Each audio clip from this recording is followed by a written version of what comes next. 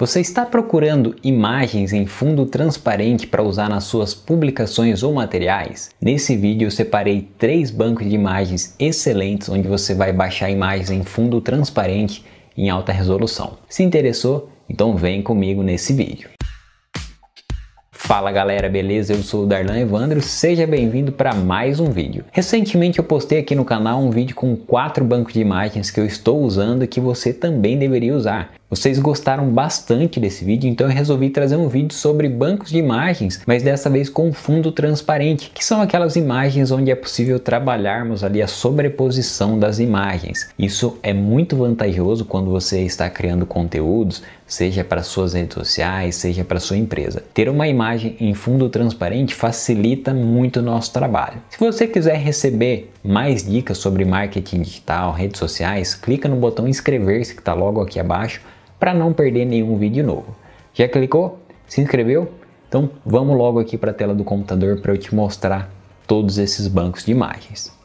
Então vamos lá, o primeiro banco de imagens para você baixar em fundo transparente é o Pixabay. Esse aqui é um banco de imagens com milhares de fotos, ilustrações, vetores, até mesmo vídeos, é um excelente banco de imagens. Eu utilizo para buscar algumas imagens em fundo transparente quando eu estou precisando para fazer um material ou outro. Lembrando que eu vou deixar todos os links dos bancos que eu vou citar aqui no vídeo, os links vão estar aqui na descrição, é só você descer na descrição do vídeo, todos os links para você acessar, é só você clicar neles.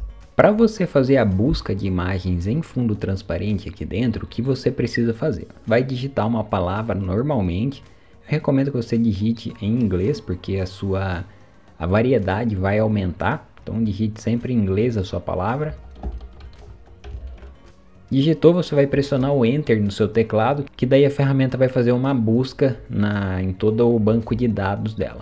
E agora para você selecionar as imagens em fundo transparente, Aqui nessa opção preto e branco, você vai clicar na setinha e vai selecionar a opção transparente e vai clicar aqui em, em pesquisar. E aqui você vai ter as imagens em fundo transparente para usar nas suas publicações. Então tem bastante coisa interessante aqui. Claro que quanto mais específica for sua busca, menos imagens o banco vai trazer. Né? Mas temos é, imagens bem interessantes aqui que daria para a gente usar, fazer um material bem bacana.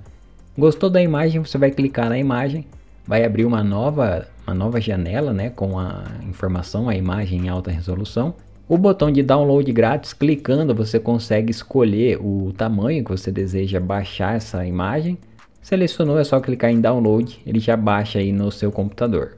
E também embaixo aqui do botão download nós temos a licença, então temos aqui o Pixabay License grátis para uso comercial, atribuição não requerida. Então preste sempre atenção no tipo de licença de cada imagem que você vai utilizar, tá? Peguei a imagem aqui que está na pasta downloads, vou trazer para dentro do Photoshop aqui, por exemplo. Então nós temos a imagem em fundo transparente.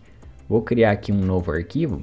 Se eu arrasto essa imagem para cá, eu já consigo trabalhar em um material bem bacana. Vamos imaginar que eu faça um fundo aqui, ó. Então já temos a imagem bem interessante aqui para a gente trabalhar com o fundo transparente, beleza? Um outro banco de imagens bem interessante para baixar fundo transparente é o PNG Pix. Esse banco aqui é um pouco mais simples, mas também tem alguns elementos bem interessantes que você pode utilizar aí nos seus materiais, tá?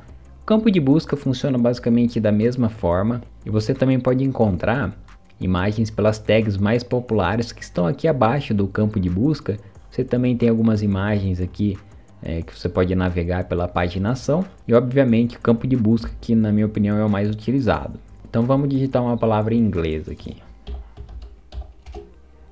Eu digitei sapato, né, a palavra.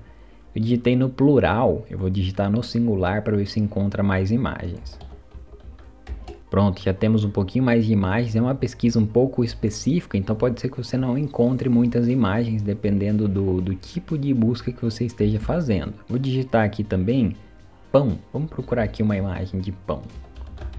Clicar aqui em pesquisar, daí nós já temos bem mais imagens aqui para trabalhar, né? Vamos selecionar esse, esse pão aqui, pão de forma. Clicou na imagem que você gostou, aí você vai ter o, a imagem em maior resolução para você visualizar Temos aqui o botão download, clicou em download, automaticamente já baixa no seu computador. E um pouco mais abaixo lá na página nós temos a licença da imagem. Então a imagem é gratuita para uso pessoal, educação e não comercial. Então preste bastante atenção na licença da imagem. Eu sempre falo isso aqui nos vídeos de bancos de imagens, tá? Sempre que você estiver visualizando uma imagem, vai ter a licença, dá uma olhadinha na licença beleza? Para fechar, um terceiro site que eu uso bastante é o flaticon.com. Esse aqui é muito bacana para você criar materiais como e-books, infográficos, até mesmo posts. É muito legal você colocar um ícone, colocar um elemento um pouco mais trabalhado assim. E é tudo em fundo transparente esses ícones. É muito legal esse site, eu uso bastante também. Aqui você não vai encontrar imagens, ele vai ser tudo nesse estilo aqui de ícones, mas fica muito bacana para você criar inclusive os destaques do story lá do Instagram. Eu vou deixar um vídeo aparecendo aqui no card caso você queira aprender a personalizar os destaques do Stories, esse vídeo é bem bacana para você. Como que funciona aqui a ferramenta? Você também tem aqui os top, top buscas, né, as, as palavras mais buscadas dentro da, aqui do Flat Icon. Temos aqui embaixo também alguns packs, então temos aqui social media, e-learning, temos algumas outras opções bem interessantes aqui. Eu gosto de usar o campo busca, vou digitar aqui algo para a gente pesquisar então. Vou digitar aqui, por exemplo, a palavra light e vou pressionar o enter para buscar. Então, como você pode ver, temos várias lâmpadas, luzes que nós poderíamos estar usando nos nossos materiais. Nesse site nós temos também a opção de coroa e sem coroa, o que significa isso? Com coroa são imagens premium, você precisaria ter uma conta premium aqui no Flat Icon. Se você não tiver, você pode usar as imagens, os ícones que estão sem a coroa. Também tem conteúdo de excelente qualidade aqui. Vou selecionar essa aqui, por exemplo. Ah, gostei desse ícone. O que você precisa fazer para baixar? Você vai selecionar aqui o PNG, vai clicar e daí nós temos a opção Premium Download ou Free Download. Aqui o download gratuito você precisa fazer a atribuição. Ele funciona basicamente como o Free Pick. Então sempre que você baixar aqui o conteúdo, você vai precisar fazer a atribuição caso você não tenha a conta Premium. Clicou aqui em Free Download, ele já vai baixar automaticamente aí para o seu computador e ele fala: Ei, lembre-se, você precisa atribuir esse ícone que você baixou. Como faz para você atribuir? O que, que é isso? É você colocar os créditos desse ícone que você baixou. Como você faz isso? Você vai clicar na opção Como atribuir e aqui vai ter todas as informações do que você precisa fazer para colocar a atribuição. Se você estiver usando esse ícone nas redes sociais, estão aqui as informações. Se você for usar num site, no seu site, no site da sua empresa, você vai clicar aqui em web, você vai pegar as informações de como atribuir. Se for um material impresso, mesma coisa. Então é bem simples de fazer essa atribuição. E o legal também é que você pode escolher aqui o tamanho, se você quiser um ícone um pouquinho menor, até 512 pixels, que é um ícone grande, né? Você vai escolher aqui e vai conseguir baixar tranquilamente. Temos aqui algumas opções de cores também. Esse aqui é um site muito bacana também. Então esses foram os três bancos de imagens fundo transparente que eu queria compartilhar com você.